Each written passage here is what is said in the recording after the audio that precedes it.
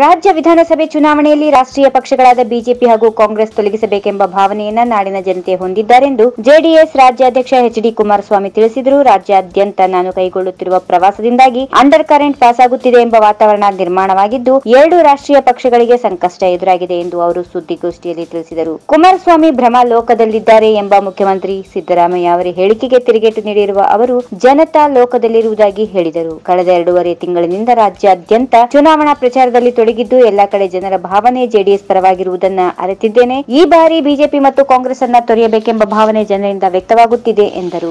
AICC ಅಧ್ಯಕ್ಷ ರಾಹುಲ್ ಗಾಂಧಿ ಹಾಗೂ BJP ರಾಷ್ಟ್ರೀಯ ಅಧ್ಯಕ್ಷ ಅಮಿತ್ ಶಾ ಪರಸ್ಪರ ಆರೋಪ ಪ್ರತ್ಯಾರೋಪಗಳಲ್ಲಿ ಕಾಲಹರಣ ಮಾಡುತ್ತಿದ್ದರೆ. ಜ್ವಲಂತ ಸಮಸ್ಯೆಗಳ ಬಗ್ಗೆ ಚರ್ಚೆ ಮಾಡುತ್ತಿಲ್ಲ.